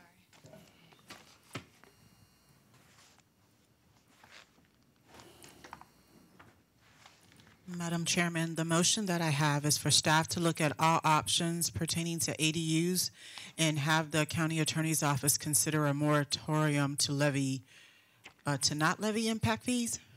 Basically, it's gonna be a report back on what the options Right. are. Right, exactly. God, watch using the word moratorium, it raises a lot of red flags. I won't I- vote for it I'm if it sorry. says I'd rather not have that in the motion, Madam really. Attorney, I've done moratoriums for years, and I know it's a totally lawful, but you have to have a reason why and an end date. And it's so that you can't go any further on that issue until you meet again about it. So I know this is totally lawful. I, there's nothing illegal what I'm doing, so I respectfully don't agree with the attorney on this one, but, Well, that's interesting. well, Um, I will tell you, just me personally, one commissioner, I will not vote to do this and put a moratorium on the ADUs. I'm, I'm not going, to if I understand no the impact wordage of fees, it. only impact fees. Just on the impact. Is that fees. correct? Can you make it more I've never heard of a clear? moratorium on impact fees, a moratorium on, on uses. If you don't want to issue building permits, like for cell towers, there was new Right. use, it wasn't in the code. We, we, most local governments had a moratorium for six months to figure out how to regulate cell towers, do code amendments, and how to regulate them. So if one, somebody builds one tomorrow, they get charged full impact fees if we don't do something. Am I correct? Any action you take today is not going to stop the impact fees from kicking in. Right. You're going to have to there have a report back and find out how to do it. You have to have an ordinance, a study, and a public hearing. The statute requires you to go through that. But that's To why we're change doing it. impact fees. I will encourage everyone to build lots of guest houses and so forth. Yeah, I, I'm not going to vote as long as the word moratorium's in there, so. Don't even know At what any it rate, means. um, all in favor of the motion, say aye. Aye. Aye. I don't know what we're doing. The moratorium one. Well, well, That's Excuse what the me. motion is on the you, floor. Commissioner Servia. Yeah, I, I always defer to our legal staff. We're not attorneys. She's an attorney. If, you know, she's, she's, li- she would like to bring back a report that details all options we have. And I'm sure if a moratorium is allowed on impact fees, she will present that. But I, I'd like to defer to our attorney and I'll support that. So what are we going to make a motion on today then? Excuse me. I We just. have a um, motion on the floor. Does it remain as you, I'm trying to follow Yes, procedures. it remains. You're going to keep Because I know I'm motion. right. Okay, then we'll go ahead and we'll vote on that motion. But I need to get the motion clear, right, madam? Okay. It's just a moratorium on not levying impact fees for 12 months until we decide if, what we're going to charge, until the impact fee study comes out and what, if we are going to charge anything. Um, I have legal objection to that motion, and I ask the board not to I- vote I on can't it. go against an attorney because I don't know anything. Yeah, So I'm just, what I'm I'm gonna trying to pull say. my second. I'm just, I don't, I got an Yeah. attorney yelling at me over here. I'm trusting the Well, attorney. you're right She yells all do the that. time. I'm okay with it. She doesn't yell. Passionate, passionate. Reputation down there. Yeah, evidently. So He knows what I mean. Commissioner Satcher, you are not next on the board, I'm sorry. Commissioner Bellamy and then Commissioner Satcher. I'm following, I'm not going to get caught up in it. Uh, I'm okay either way. Yeah, I'm Um, okay. And I can wait till after the pastor speak if you want me to, Madam Chair. Is that okay? Or speak? I'll make a motion to approve the agenda item. Because I did want to make the motion. Okay. Second, and then we'll be done. All right, I'm going to keep it with uh, Commissioner Whitmore and Commissioner Kruse. I And didn't now I got to to have a open it back up to public comment again. Um, Madam Clerk, would you repeat the now motion, what it is now? It's the, it's the recommended. The recommend, but what is it? Yeah, we had public comment on the ordinance. So I don't have to open it No, again? you're correct, Okay. you're okay on that. So, Madam Chairman, the recommended motion as listed on the, s- uh, the staff, uh, the memorandum, the agenda update memorandum. I'm sorry. I'm still trying to figure out I what know, the so motion am I. was. Um, It's just the motion and the staff to- report, and we gotta be careful To that it's read adopt Manatee correctly. County Ordinance twenty-one eleven, which is LDCT twenty 3 Madam Chair, someone has to read the motion, the record, it's just, conf- you wanna Where read is the it? motion? I'll read it. Where is it? The Wenzel? Thank you, Madam Right Attorney, here, that's just why I read it. asked. You do better than I do. Okay, the recommended motion, is this on? Um, Based upon the staff report, evidence presented, comments made at the public hearing, and action of the planning commission, and fi- is this the right one? Planning Commission and finding the re- request to be consistent with Manatee County Comprehensive Plan and in accordance with the criteria for Land Development Code text amendments in Section 341 of the Land Development Code as conditioned herein, I move to adopt Manatee County Ordinance 21-11, That's it. LDCT 20-03, amending the Manatee County Land Development Code as recommended by the Planning Commission. Madam Chair, I did want to respond to some comments before you vote on the ordinance. I was, I'm a little confused. Are you voting on the ordinance or on the Uh, The um, motion has been made, Bill, so we've got to follow through. Okay. And Wait, he just wants to know what we're I, voting on. that's what I was trying to tell you. Sometimes Would staff everybody is better to sit please down while you're stop? ahead, I advise you to do that. Okay. Can- Wow. Can I, cl- can I clarify one thing, though? You're being mean again. Be- Before you vote, can I clarify, or let Bill clarify one thing? And it was uh, in reference to the coastal uh, information that Commissioner Kruse mentioned. We took that out. I just wanted for the record to let everyone know that that coastal information, that, you know, where you're not allowed to do it in the coastal areas, that was removed. No, I didn't say it was completely prohibited. I just said there's restrictions already in there relative to setbacks and other things you can do, and which is gonna minimize that, yeah. Things like that, okay. I just wanted to clarify. I don't think Bill's happy. Okay. We have a motion by Commissioner Whitmore, a second by Commissioner Kruse. All in favor, Madam say Madam aye. Chair, I pushed my button. Oh, Carol. Well, Bill is not happy, and I want to know what's going on. Are you all right, Bill, with what um, Rob just said? I want, okay, I'm all right now. Madam Anybody Chair- else before we go to Madam vote? Chair, can I clarify who seconded the motion? I have down Commissioner Bellamy. Kruse. So it was Kruse. Okay, thank you. Commissioner Whitmore made the motion. Commissioner, you have a hard time. Try sitting up here in this seat. Commissioner Kruse was the second. All in favor, say aye. Aye. Aye. All opposed, nay. Madam Clerk, it is approved unanimously, six. And Madam Chair, I'm looking at Bill O'Shea's PowerPoint from March 4th, 2021, where we had our, our report on this ordinance. And at the last page, it cl- says impact fees must do by separate ordinance and, and future study. So we've been aware of this since March, that the impact fee is an issue. No, I agree, So, but I back just- then, that was when still, when Nicole and everyone was still bringing the impact fee study to us. We actually had a work session for, it, and then it, that got pushed back when the Law. Florida Senate and, and House changed the ruling, so we had to go back to redo it, so we never got around to finalizing Okay, it. yeah, I'm just saying, it's been an issue. Okay, I'm back on the board. I do have one question for the county attorney. Do we need to do a motion in order to have you come back and give us uh, thoughts on what we can do about the impact fees? Yeah, I would ask Clark, you've been working on this project, I have not. Do you have anything to Yes, and offer on this qu- So point? I'm- I'm sort of one step removed. Your, your impact fee administrator is Nicole Knapp, and, and sh- she's not here this afternoon, but she has shared some messages with, um, with Ms. Wenzel during the hearing, and. Please state um, your name too, Clark. uh, Again, for the record, Clark Davis, uh, Deputy Director of Traffic Management for Public Works. And um, we'll need to seek some clarification from her. I may have misspoke earlier. It, it may be that based on her conversations with our consultant, that we will not initially be charging impact fees on accessory dwelling units. Whether we are or not, I think we would all agree accessory dwelling units are a new thing for us in our impact fee system. And so e- even if we don't wait for the full study, we could work with our consultant to get an interim determination under our current methodology as what the appropriate fee, if any, it will be. So um, I, I guess I'm- I'm asking that you give us a chance to work as staff to bring something back to you, if you make a motion to that effect. I mean, you've already talked about things like that. We'll, we'll be on it and take care of it. Thank you. All right, And Madam thank you. Chair, if, whether we need an ordinance or not, we'll wait and see what Clark says. Okay. And and if you need to make a motion on doing an ordinance, you know, you can do that. I can't make a motion, but I'll be happy to second it. Somebody give me a motion. I move to have staff bring us back options uh, regarding impact fees on E- ADUs. Second. All in favor of the motion, say aye. Aye. Aye. All opposed? Madam Clerk, it's approved six to zero. Thank you. Okay, um, before we move forward, it is very hard to keep the order that we need to make sure that we have, and I know that Commissioner Whitmore is very aware of this, because she's been on this board longer than I. It's very important, this is a land use meeting. So in order to make sure that we keep proper procedures done, so if this should, for whatever reason, end up in court, we have procedures that we have to follow. So I would ask, in the future, commissioners, that please hit your button so you can be recognized and get on the record. You, I cannot continue to have all of you just speaking up whenever you want. That is not proper procedure for this board, and we all know it. So I'm asking for your assistance on that. Commissioner Kruse?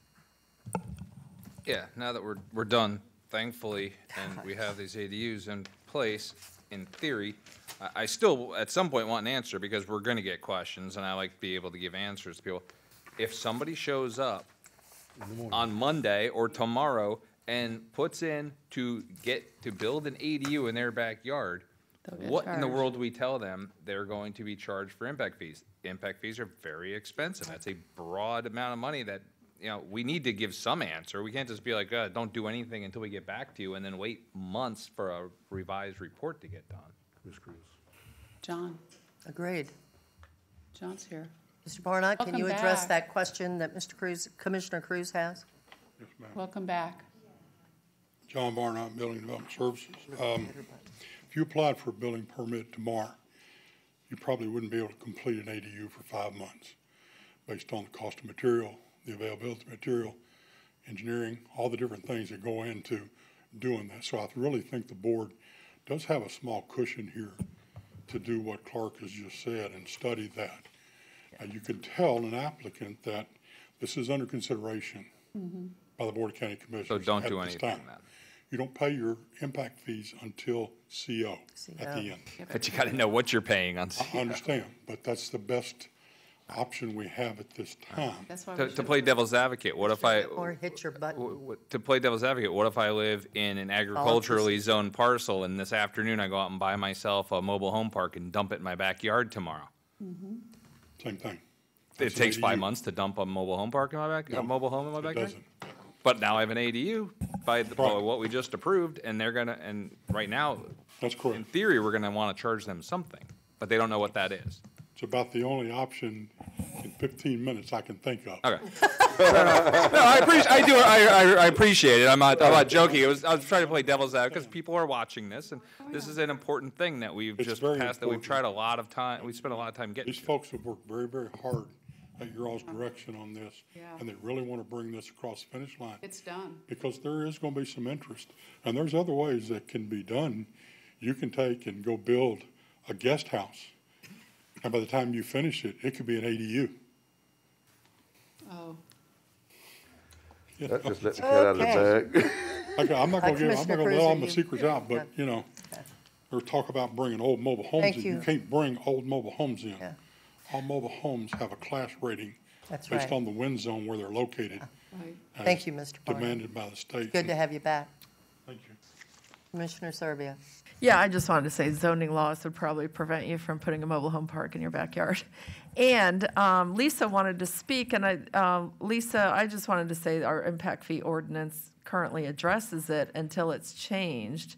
Is that correct? Um, I don't want to speak to that. I think Clark spoke to that. I think we will get with Nicole to confirm, but the ordinance takes 30 days to become effective, so there is a challenge period. We are going to work on a brochure to let citizens know what they can and can't do with ADUs, and that will be part of it. Um, but we will get with Nicole to confirm. I, I was corresponding with her, but I'm kind of confused with the, the, the messages, so I, I don't want to misspeak, but I believe Clark was correct. And you will get, um, I'm next on the board, you will get with this board to let us know what you've come up with Yes. before it's given to the citizens, correct? Um, for the brochure, you mean? Yes. Um, we can certainly Yes, do that. please. I It's think just an we should see informational that. brochure that we are working on. All right, I think we should probably see that to make sure that we're okay with it. Commissioner Whitmore. I don't think we need to approve it, but I would like to see it. Um, Fred Hale called me this morning. He's a construction company, and he has a few people that have called him about ADUs. And he thought it was Sarasota County that was passing it. One was Manatee, and I says, no, it's Manatee. So there are people out there that are looking. So to think that uh, this is just a pie in the sky, it isn't. So um, out of the clear blue, he called me. Um, I, so I want this resolved, you know, hopefully sooner than later. Thank you. Commissioner Satcher. And I, I just wanted to say, at least from my perspective, um, so that we don't end up with, so we can shorten how many meetings we end up having on the same topic. When we talk about options, obviously, there seem to be some on the board that would want a full impact fee. Uh, there's some on the board that would want zero impact fee, and then you might want to come with something reasonable in between and see where the votes end up and where the discussion lies. That way, we don't have to have a separate meeting if you have a one hundred percent plan and a zero percent plan and neither of them, you know, pass. Um, so that, that's just a suggestion, assuming that you can legally get to those three, uh, options, it might be a good thing to bring back, but it's up to you. All right, I don't have any other commissioners on the board, and Bill, you thought this would be over today. Happy birthday. Happy birthday. All right, we're going to go ahead and move forward then. Um, County Attorney, do you have any other comments that you'd No, like to make? Nothing, madam. All right. Commissioner comments. We'll start uh, with Commissioner Servia. Um, Thank you. I have one item that I wanted to uh, just kind of introduce to the board, if you guys have not heard of this. Um, Because w- the biggest problem that I hear about with Airbnbs um, in my district is noise. Uh, And I, and probably it's the same for your districts if you've got Airbnbs. And there is a product now that is called Noise Aware. There's probably other products, but the one that I've been reading about is Noise Aware. It's really a benefit for the property owner because what it does is it, it's a noise monitor that is outside of the home, I think. I guess you could put it wherever you want. And um, once the decibels are reached, uh, whatever the local ordinances are and the times that are allowed, um, it notifies the property owner that there's noise that's happening at the facility that is beyond what the laws allow. And then there's an automated system that would send uh, an email to the, the property owner. And the property owner can then take control and handle, get ahead of those conflicts, you know? Because the property owners want good renters and people that are using their facilities. They, they don't like the problem cases. And um, I think that it would, it's a it's a really cool idea that is you know kind of getting ahead of a problem and allowing Airbnbs to live in harmony in our residential neighborhoods without disrupting the peace. So I just like um, maybe we can explore it as a board and as a staff to see if there's something that you know might be useful in some of our neighborhoods. Just wanted to bring that to your attention. Thank you. Commissioner Kruse, did you want to comment? Yeah, I, I think we've talked about, I, I know what you're talking about. I've read about it before, and I think we've talked about it. Maybe we were back at the convention center. It was at least brought up in passing. I, in fact, I know what it was. It's when those people who, I believe maybe they're in Commissioner Baugh's district, about the house that was doing the weddings and stuff in the back. Uh, th- this exact thing came up.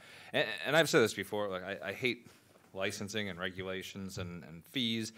But I think part of the problem, and we had the discussion during that discussion, is we don't have any teeth to forcing owners to do anything. They can rent to whoever they want because they just go out and rent again.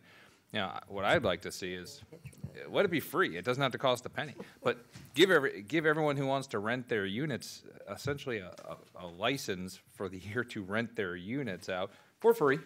But it, it's got some teeth to it. You violate noise ordinances or park ordinance or anything three times, you, you lose that for the rest of the year. You gotta, you gotta give the, the owner something to, to be penalized by, because they're not penalized. If there's noise or, or if there's garbage, then it's the people renting, and they just move out the next day and, and go back home after spring break. So I'm dialoguing with him, Madam Chairman, and I'm next on the board. Is that all right with you? Sure. Okay. Um, so there are communities and cities that, that do exactly that, that, that have written ordinances and have required these devices. And, uh, but what it does is it removes a lot of the burden from law enforcement because a, a good majority of the problems are taken care of quickly. And those that aren't taken care of, law enforcement can get involved. So it just depends on how a community wants to use it.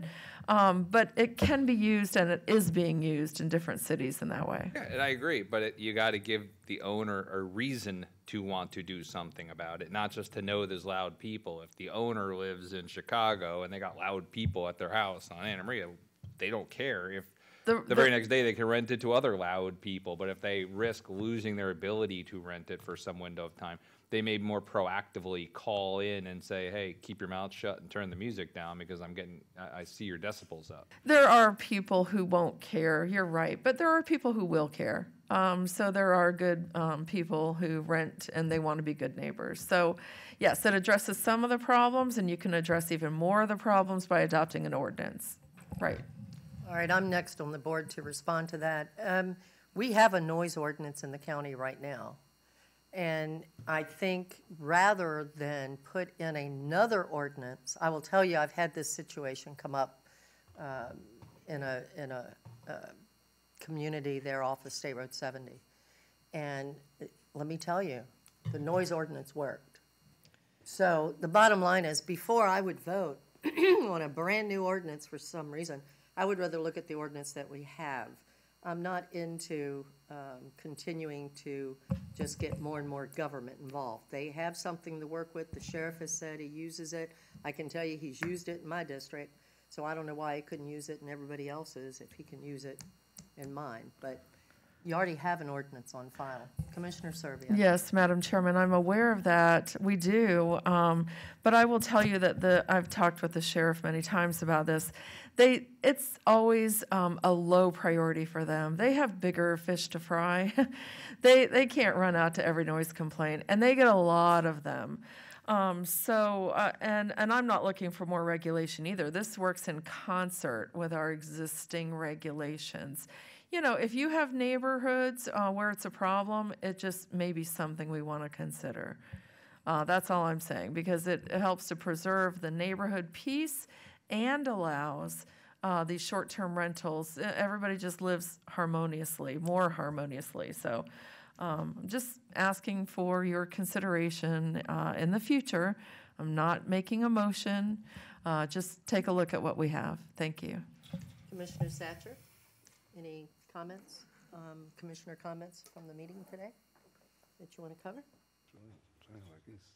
Don't involve a motion. Yeah, I just wanted to point out to everyone um, the topics that we've been undertaking as a board here, and uh, and just to use your own judgment as to whether or not what level of importance and money uh, should be tied to those things. We've got now a proposal to bring up a bunny protection ordinance to be discussed by the board in the future.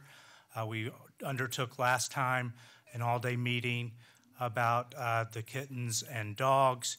Um, and then now we're talking about potential new noise monitoring backyard devices. Um, and I and I get emails continuously um, that it's a waste of our time or money um, to consider protecting babies in Manatee County. And I just want to say that I vehemently uh, I disagree with that determination. It almost seems like it's an orchestrated thing um, because that's the only topic that comes through in my inbox. Um, like that's some kind of angle, and I don't think it's a successful angle. And let me just say this the whole meetings and everything that we do here would be amazingly more efficient if, when we disagreed, we just stated our position. Another person says, Well, I disagree because of AB, and then we move on. We don't have to go back and forth all day, although I know by bringing this topic up, I give everyone that option. Um, but I just want to say that uh, I do think saving lives might be worthwhile considering the other things that we do here as a county commission. Thank you. You're going to make me say it, aren't you?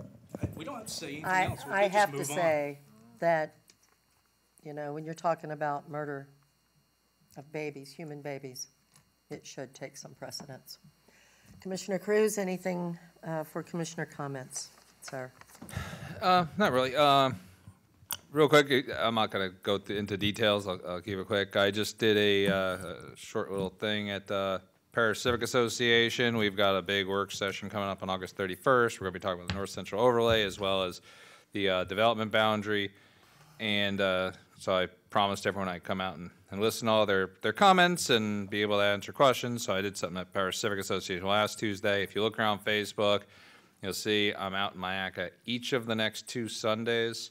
Uh, this coming Sunday from 1 to 3 and the following from 1 to 3, two different locations. So everyone's invited to come out and give me your thoughts and comments. Ask me any questions you have because for some reason I promised to do this. Thank you. You volunteered, I saw your thing. You did it. This You board did. never ceases to amaze me. Yeah. Commissioner Bellamy, did you have anything, sir? Yeah, I just want to um, clear up uh, some things. I um, had a, had a great meeting uh, with the NAACP, and the conversation of redistricting came up, and um, the introductory exercise that we had um, was um, scrutinized, and I, I, I made it clear, uh, and not by the NAACP, it was by commentary, um, but I made I made it clear that that was just an introduction um, of the exercise, and we were not just, you know, just drawing lines to try to, you know, predetermine what we was going to do. I, I, I actually needed the introductory exercise, to be honest with you, and I'm excited to say a few things. Um, first of all, there, we will have a meeting um, with the um, political um, um, committee from the NAACP. I will, um, this coming up Friday, and um, I'm, I'm excited that we're going to, you know, hold those conversations. That's the first thing, and and the second thing, we do we are aware what took place back in 1990. If you're not, I've actually I've sent the information to the county attorney as far as what took place in 1991 as far as the minority district as where it relates to 90, um, to, to District 2. And I'm sure that's going to come up again. But the reason why I wanted to bring it um, out because for some reason it was identified that we had we were trying to make decisions then. I don't think that's what No. that wasn't the intent, and I wanted to make sure for the record that wasn't the intent. What we were doing, it was an introduction exercise, uh, and, and that's it. But I am excited to say I'm I'm going to meet with NAACP. I've talked to the attorney about it, so we can make sure that all the concerns and things as it goes for the minority district are out there in front of us while we go through this process. I- I'm going to respond to that. I hit my button. Um, You know, I thought it was really interesting having that exercise because I didn't know exactly how many total people lived in my district or the other districts. I had no idea. They're So I found it very interesting to see that. Um, And it did, I think, according to Dr. Hopes, the reason he did it that way was to give us all an eye-opener, to let us see what we're looking at here in the county and, and, and how many, um, you know, what the population is in each district. And by the way, guys, I would really appreciate y'all taking some of mine, because I'm like, You're not going to have a choice. I, I mean, I got the You're biggest gonna have a district there is uh, in population, so, except for the two at large, and right now, y'all don't count because you're not involved in the redistricting, so, um, you know, I thought it was educational for us more so than meaning anything else, because I can tell you now, I saw where some of those lines were, and I'm gonna fight on it, I didn't like it at all. I'm sure probably some of the other commissioners would agree with that as well. Yes, sir. I just labeled it as an introductory exercise, so we can be a little bit more familiar as we start, as we navigate our way through the process. Agreed. I think you're right on that. Um, Commissioner Whitmore, you're next. And I know Commissioner Van Ostenbridge and Bellamy will be fighting over some common areas. Both of them put their lines on the same area, so that'll be a dogfight. Okay. Um, And I didn't mean that because it was a dog, sorry. Okay. um, First of all, you mentioned Commissioner Chu- Kruse about what Commissioner Serby was talking about with the noise. I don't want to hash into it, but we don't, we can't enforce anything because we don't have rental licenses in Manatee County. We've talked about it in the past, but every board since I've been here has said no. And um, I'm from a city that does, and every city does have one, except for the county. But, you know, so that, that would be hard to give them any kind of, um, to um, penalize them because there's nothing to penalize except for noise ordinance, and it has to be over 65 decibels, I think, so. Um, Lighting the Skyway, we all got an email from a Janet Cook, and um, the chair said it would be a good time to bring this up. This lady, um, we're bring, uh, regarding Breast Cancer Awareness Month in October, and um, to light the Skyway up pink, and uh, she's got to ask Hillsborough and Pinellas. So I didn't know if you guys were interested, and if you could uh, make a motion that the chair write, uh, sign a letter that we are in support of that. Is that a motion? Yes. Second. Second. We have a motion by Commissioner Whitmore with a second by Commissioner Servia. Uh, Before we vote, I need to open this to public comment. Madam Clerk, did you get the motion? Okay. Is there anyone that would like to come forward and speak on this issue? Any phone calls? All right, I'm closing public comment. All in favor, say aye. Aye. All opposed, nay. Madam Clerk, it's approved six to zero. Um, I'm Ms. Commissioner okay. Kruse, did you want to make a to res- comment on that? I just want to respond to that motion. I, I talked to uh, Dr. Hibbs and uh, County Attorney Clague, and I, I honestly don't think anyone up here cares what color that bridge is. I, I think for simplicity, I had mentioned to them, and they, they agreed, that maybe this is one of those things we just assign to the county administrator to administratively approve going forward, because do, does anyone really care? And if anything, if you kind of care, it's probably best that we don't vote on it. Exactly. So, That's I mean, it- It's honestly best case scenario, because if we don't care what color it is, why even subject yourself to having to use the restroom Make a during a motion to have the administrator do that. Anybody want to? Yeah, I, I would make a motion that we assign the responsibility of approving bridge lights to our county administrator going Second. forward. Skyway Bridge lights. Except for the one we just voted today, because Uh, I'm going to pass this to Nick to Don't write a letter. complicate it. No, it's Commissioner not. Servia. Can, can we not just be specific to the Skyway Bridge, but say all bridge lighting? I just don't care what color any of these bridges are. So let's. I'm, I'm leaving my motion the same. If you're lighting up a bridge, I'm okay with Dr. Hopes making this decision. So I'll keep my second the same, thank you. Yeah, I mean, I think that's a great idea personally. All right, I've got to open this to public comment. Anyone want to come forward and speak on this issue? Phone calls? Nope. Closing public comment. All in favor, say aye. Aye. Aye. All opposed? It's approved No. unanimous. What? I'm against. Oh, okay. Um, let me rephrase that, Madam Clerk. It is approved five to one with Commissioner Satcher voting nay. Okay. Okay, I got only a couple more things. Um, We used to, in the old days, allow citizens, uh, Mr., oh, gosh, he's sitting there looking at me right now, he passed away, but um, we used to allow people to speak under public comment, and they would submit a letter, and as long as it was on file, they wouldn't have to get it every time. And then at one point, the legal counsel changed it. So I don't know if it's a legal reason, but I would ask um, that our legal counsel look at it um, and see if we do have to get the, you know, the so many citizens to speak, because we did this for a long time, and I'm sure some of us remember that, so. Madam Chair, I suggest you address that when you do your rules of procedure, because That's that's where the literally what I was requirement gonna is. say. It came from the So maybe board, we not from can bring it up attorney. when we're, It, it's on the rules and regulations. okay. It's a change We could already. change it, okay, all right, so, and then the Well, speech. I, I do have my Uh-huh. button pushed. I just wanted to comment. I don't ever remember it not being necessary that they bring in a notice with the Uh, oh, yeah, signatures. I It do. had to be before 2012. Uh, It was for, hasn't it's- been, since I've been on the board, you always had to bring in. no, I remember Mr. Weaver. There we go. Well, He we was on always file, open it. And Sandy Gilbert, or Sandy Marshall, he had not one on file for years. Well, it was before I was elected, I can tell you that. But anyway, I- that's why I was asking, I didn't know that. But Okay. yeah, we'll discuss that when we have our workshop. All right, and just one more, I'm bringing up the speed limit on Lorraine Road, again, I'm still getting letters. Did we need to make a motion to have staff to do a traffic study and see if it can go up higher than thirty-five? Last time, Um, we just kind of vacillated about it, and I didn't know what to tell this person that sent me another email. I can respond to that, too. Um, If you talk to Clark Davis, they're already looking into it. Okay, so somebody, well, somebody should keep us informed. Okay, thanks. Uh-huh. Anything else, ma'am? Nope, thanks. Okay, I don't have anything. So this meeting is now adjourned.